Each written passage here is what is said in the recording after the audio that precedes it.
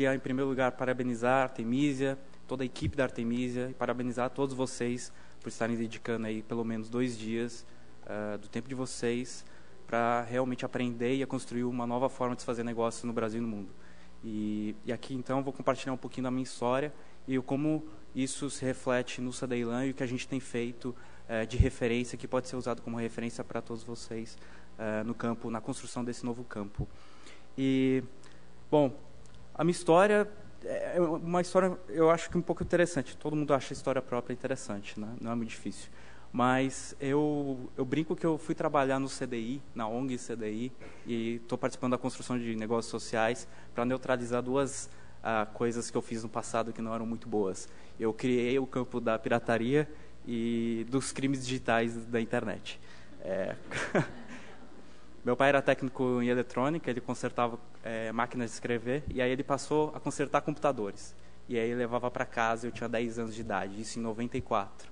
Eu comecei a extrair os joguinhos que vinham desses computadores e vender na escola. É, eu vendia naqueles disquetes de 3,5 polegadas e 5 um quarto. Dava para fazer uma graninha. O problema é que ainda não existiam computadores pessoais no Brasil com tanta é, com, com um número tão grande quanto hoje. E com 15 anos, meu pai, para mais uma surpresa, recebeu em casa uma notificação da polícia e, e do provedor de acesso, que foi o primeiro provedor de acesso no Brasil, dizendo que aquele computador de casa tinha sido rastreado na invasão de um servidor dos Estados Unidos. Bom, enfim, aí eu parei, eu decidi, eu vou mudar de vida. Aí vou mudar de vida. E aí quando eu tinha, mais uma vez, com 15 anos, é, eu sempre fui aficionado por tecnologia, muitos amigos meus me convidavam para ir cabular aula, para ir para uma lan house. O início das lan houses no Brasil, 1999, eu tinha 14 para 15 anos. E eu aceitei uma das vezes. Eu sempre relutei, tá, gente? Eu não cabulava aula. E uma das vezes eu aceitei. E foi numa das primeiras lan houses aqui do, do Brasil, se chamava Playnet. Era Playnet e a Monkey. Vocês conheceram a Monkey, provavelmente. E quando eu entrei naquela lan house, um monte de coreano jogando, aquilo transformou a minha vida. Completamente. E eu falei, eu preciso montar uma coisa dessa, só que melhor, porque o ambiente era completamente escuro, era sujo, enfim, os computadores eram muito mal cuidados. Eu pensei, eu preciso abrir uma coisa dessa melhor. Eu tinha 15 anos.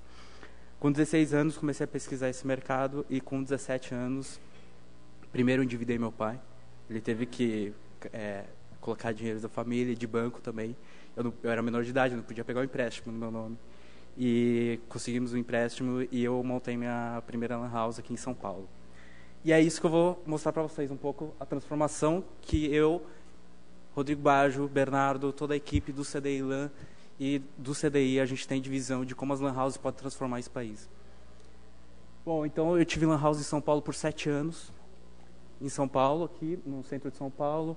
Tive correspondente bancário, com parceria com a Caixa, cabine telefônica com a Telefônica, a Nestlé fez um, um, um, um espaço legal de, com, com Nestlé sorvetes, com Nescafé. Enfim, era uma lan house modelo. Fui case também de pequenas empresas e grandes negócios em 2006, com modelo de negócio de conveniência digital. Uh, criei um projeto em 2003 de inclusão digital com crianças uh, carentes, de, principalmente de creches, escolas municipais, em que eu levava essas crianças em horário de escola para uma lan house. Essa era a ideia. A ideia era que a lan house fosse uma extensão da escola e fosse complementar.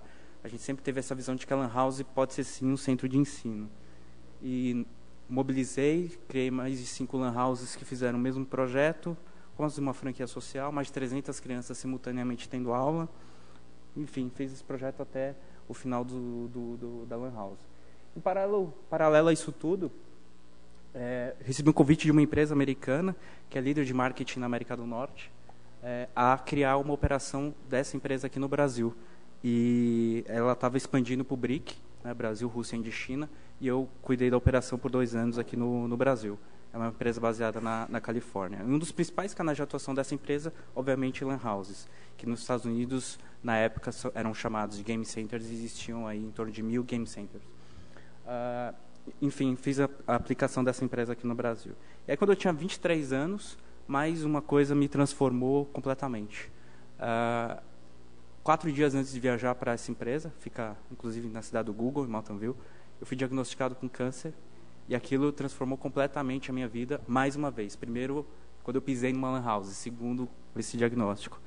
E aí, num processo de reflexão, que foi super importante, primeiro, eu classifico isso como a melhor coisa que aconteceu na minha vida, e segundo, é, a reflexão que eu tive foi: eu quero viver com significado, eu quero, quero viver com propósito. Eu tenho só cinco minutos, eu não estou nem na metade ainda.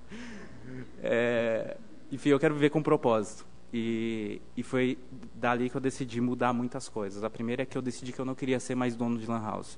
Eu queria sim usar o que eu sabia fazer de melhor para impactar milhares e milhões de vidas e não apenas uh, naquela minha comunidade.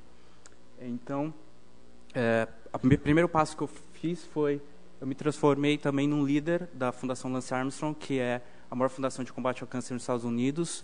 Nós somos 200 líderes em todo o mundo, em 35 países, e eu sou representante da fundação aqui no Brasil. Meu papel é quebrar o estigma do câncer, de que o câncer não é uma sentença de morte para ninguém, e sim você pode usar isso a seu favor e, e mobilizar outras pessoas para que é, trabalhem na, na prevenção pre, na, na, prevenção primária, que é o que a gente chama, que é se cuidar, comer bem, uh, uh, fazer exercícios, enfim, tudo aquilo lá. Quem quiser discutir um pouco mais, eu estou super aberto. E uh, o que a gente acredita na Fundação Lance Armstrong é que a união é força, conhecimento é poder e atitude é simplesmente tudo. Que é exatamente o que a gente está fazendo aqui na construção dos negócios sociais no Brasil. e aí, conheci um rapaz está aqui na foto, ainda jovem, mas que está sentado ali mais ao fundo, Rodrigo Bajo, um dos empreendedores sociais mais bem é, reconhecidos no mundo, que vocês vão ter a oportunidade de ver um pouco a falar dele mais tarde, e que mais uma vez minha vida foi transformada. Primeiro porque o Rodrigo, como um empreendedor social, sempre me inspirou no projeto de inclusão digital que eu fiz com Lan Houses, porque eu usava o modelo que o CDI fazia na, nos, nas então escolas de informática e cidadania. Eu pensava, poxa, por que, que a gente não pode usar Lan House para fazer isso? E eu nem conhecia o CDI ainda pessoalmente, muito menos o Rodrigo. Mas o Rodrigo sempre me inspirou muito. E aí eu passei a fazer parte, uh, recebi um convite, fui fiquei extremamente lisonjeado em participar do CDI, do Comitê para a Democratização da Informática, e, em que passei todo o ano de 2009, 2010 na organização, em que a, a, a, criei, ajudei a criar, na verdade, implantei, fiz gestão de vários projetos, incluindo o Projeto Casa Bahia, plantação, apoio de gestão do Projeto Coca-Cola em São Paulo, Sebrae, enfim, foi, foi realmente um aprendizado muito grande. Eu diria que foi um dos melhores períodos da minha vida em termos de realização profissional. Uh, e aí, a partir de então, dentro do CDI, com a minha experiência de lan houses, a gente começou a estudar um pouco mais o mercado de lan houses. Né? Vocês devem estar rindo da foto lan house, né? Uma foto, essa foto é do sertão, uma foto de uma lan house no sertão no, no Nordeste, tirada pelo próprio Sebrae. E aí, se a gente a gente começou a analisar bastante o mercado de lan houses dentro do CDI. Então, em, em 2007, o Comitê Gestor da Internet mostrou que metade do acesso à internet no Brasil vinha do que a gente chama de lan house né, 49%. Então, o próprio CDI, como uma organização pioneira no campo da inclusão digital, começou a refletir: bom, quem faz a inclusão digital no Brasil não é apenas o CDI, sim um canal que foi criado por microempreendedores comunitários, são lideranças na, na região e de uma forma extremamente espontânea. A Lan House foi uma febre no Brasil. E eu, como empreendedor de Lan House, ou ex-empreendedor de Lan House, eu, eu, eu colhi bastantes frutos dessa febre. Então, na minha época, tinha três horas de fila de espera todo santo dia na minha lan house com 32 máquinas. É, e eu, eu acompanhei todo esse movimento. Hoje no Brasil são 30 milhões de pessoas que acessam a internet através de lan house. Isso representa 35% de todo acesso à internet no país.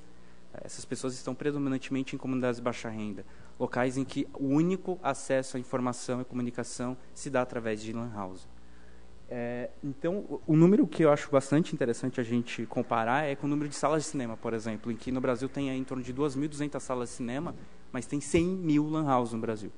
Então, é, eu tenho um minuto, poxa, vou ter que pular bastante coisa. Enfim, o que a gente pensou foi, quem faz a inclusão digital no Brasil, efetivamente são os lan houses. E aí, se a gente olha um pouco o empreendedor da, da lan house, ele tem uma série de dificuldades, né, desafios ele tem desafio de sustentabilidade financeira, é um setor ainda subexplorado, a maioria das lan houses ainda sobrevivem de, apenas de acesso à internet, a gestão desse dono de lan house é amadora, ele, é, ele tem uma baixa formação, há um alto índice de informalidade, mais de 90% dos estabelecimentos não tem nem CNPJ, rodam na garagem de casa, na, na sala de estar da casa dele.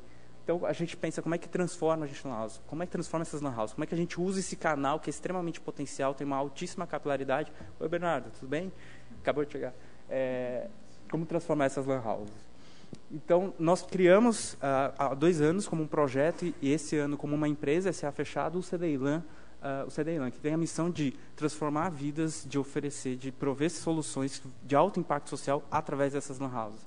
E a gente tem uh, dois focos estratégicos que são educação e inclusão financeira. Hoje nós temos 6.200 lan houses afiliadas através de um código de conduta e elas têm o primeiro acesso a uma rede social, rede social para donos de lan house, que vocês vão ver rapidamente um pouco mais adiante. Esse código de conduta foi o primeiro passo que a gente fez para alinhar que essas 6 mil lan houses estão comprometidas em promover e aplicar boas práticas. Tá? Hoje a base CDILAN está dividida dessa forma, crescendo muito mais na região norte e nordeste, onde o impacto é muito grande.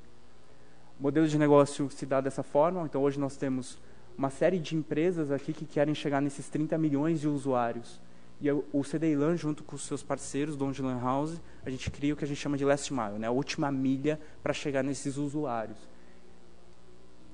Essa é a rede social dos donos Lan House. Então, para quem quiser acessar, é cdilan.com.br. E muito obrigado. Aliás, desculpa, tem mais um slide, que é os nossos aprendizados, na verdade. Bom, o que a gente tem aprendido, e eu acho isso extremamente relevante compartilhar ainda mais com um grupo que está extremamente comprometido em, em criar esse campo, é, que no CDILAN hoje a gente está é, comprometido em validar um modelo de negócio com impacto, impacto social, é, rentabilizar a Lan House através de produtos que impactam positivamente essas comunidades, contribuir para a transformação de vidas, uh, ser flexível sem perder nosso objetivo central. Então a gente trabalha com um canal extremamente informal, pirata, 90% não tem nem CNPJ. Então a gente tem que ser flexível de trabalhar com eles, mas ao mesmo tempo trazê-los para um mundo em que não ter o CNPJ é não ter a certidão de nascimento do seu negócio. Então a gente muda tudo isso. É, a gente questiona todos os dias nossos pressupostos, todo santo dia. Será que o que a gente está fazendo faz sentido? Será que é isso mesmo? Será que tem uma maneira melhor de se fazer? E a gente mergulha realmente na cultura das pessoas que a gente está servindo. Meu tempo acabou, eu, é rapidinho, sou o último slide aqui. É, mergulhar na cultura das pessoas que a gente serve. Então, uma das coisas que mais me atrai no CDILAN é poder viajar pelo país, viajar, entrar em contato com o Lan House, conversar com o dono do Lan House, conversar com o usuário de Lan House e ver realmente como a realidade é muito diferente de Lan House para Lan House e ajudar, usar ajuda de aliados. Então a gente, vocês viram uma série de empresas. Hoje nós temos quatro produtos que eu não vou poder falar aqui, mas quem quiser perguntar quais são os produtos da Daylan, eu, eu posso falar. E muito obrigado a todos. Estou aberto a dúvidas.